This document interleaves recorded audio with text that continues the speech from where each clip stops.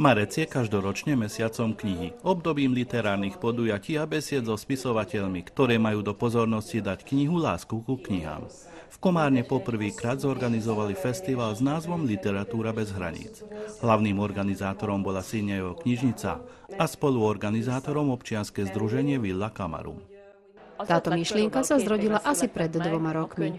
Napadlo nám, že pri príležitosti Týždňa knihy zorganizujeme nejaké literárne stretnutie a zabavíme našich čitateľov. Rozhodli sme sa zorganizovať niekoľkodňový festival, čo sa nám aj podarilo. Celé podujatie sme naplánovali na 4 dni. Organizátori festivalu, ktorý sa konal pri príležitosti Mesiaca knihy, sa zamerali na rozmanitosť žánrov a vekových skupín. Svoju dvojjazyčnú rozprávkovú knihu tu predstavila Diana Maroš, ktorá ako Maďarka z Maďarska väčšinu života žila v Žiline. Má tri deti, ktoré od malička komunikujú dvojjazyčne. Autorka napísala svoje príbehy na základe reálí dvojjazyčného detstva. Je to skutočný príbeh maskovaný za rozprávku. Žila som v Žiline 18 rokov ako Maďarka z Maďarska a keďže môj manžel bol Slovák, učili sme deti komunikovať dvojjazyčne a je to vlastne ich príbeh. Mohol to byť príbeh kohokoľvek. Mohol byť príbehom akejkoľvek zmiešanej rodiny, táto kniha je o tom, ako sa deti vyrovnávali s dvojjazyčnosťou, dvojkultúrnosťou a ako prežívali to, že sú Maďarmi v úplne jednojazyčnom slovenskom prostredí.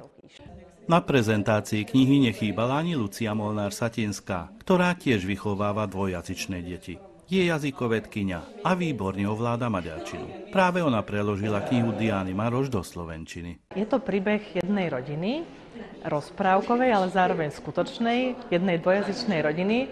A je to vlastne príbeh tých súrodencov, ako sa učia tie dva jazyky, ich odvážnej mamy, e, ktorá s nimi, ktorá ich sprevádza na tejto ceste. A táto kniha je napísaná trochu ako rozprávka, ale v skutočnosti je určená možno ešte viac rodičom alebo celým rodinám, aby ju mohli spolu čítať a premyšľať o tej spoločnej viacjazyčnosti a o tej viacjazyčnej výchove, že aké sú tam výzvy, čo na to môže byť vtipné, čo na to môže byť zábavné a ponúka aj množstvo takých typov a trikov, ako sa učiť dobre tie jazyky. Hosťom festivalu bol hudobný historik a rozhlasový moderátor Adam Böse. Záujemcov prevádzal prechádzkou o hudobnej histórii Komárna. Franz Lehár je jedným z mála maďarských skladateľov, o ktorých možno povedať, že dosiahli svetovú slávu. A verte mi, že takýchto maďarských skladateľov je veľmi málo. Kým dospelí na prechádzke počúvali napriek štiplavému vetru prednášku Adama Böse, Deti si mohli vyrobiť záložky a iné predmety v teple komunitného centra Zičipont. Hlavným miestom festivalu Literatúra bez hraníc však bola hlavná budova síne jeho knižnice. Na podujatie pozvali vynikajúcich spisovateľov, básnikov a literátov.